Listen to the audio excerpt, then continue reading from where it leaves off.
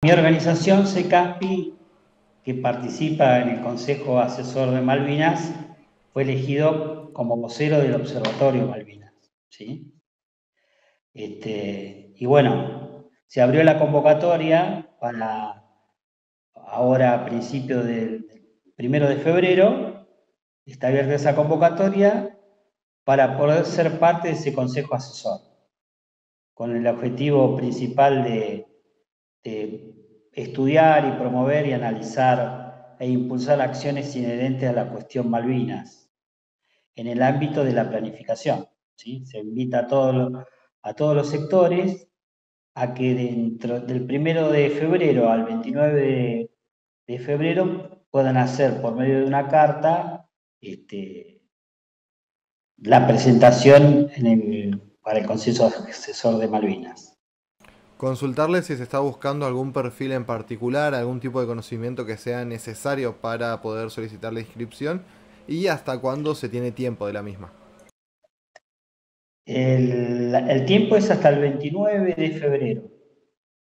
¿sí? Abarca todo este mes y la idea es juntar toda esa documentación para empezar la sesión preparatoria el, 4 de marzo, eh, donde ahí se van a elegir los temas a tratar o, planificar, digamos, todo, todo, lo que se quiere eh, exponer de distintas organizaciones tantos políticos, no gubernamentales, los sindicatos, los partidos políticos, que buscan en el fondo promover todo lo que sea el conocimiento de la, de la lucha de la soberanía de Malvinas y de alguna forma también promover distintas acciones para aconsejar al gobernador en las cuestiones que tengan que ver con la cuestión Malvinas, ¿no? Consultarle por último para recordar las formas de contacto que tiene a través de bueno, la organización.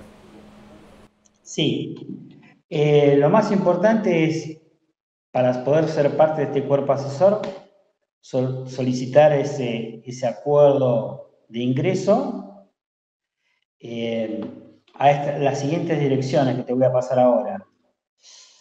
Eh, se puede dar la información por, vía telefónica que va al 02901 441 241 y las direcciones de correo electrónico de cuestión malvinas arroba tierra del fuego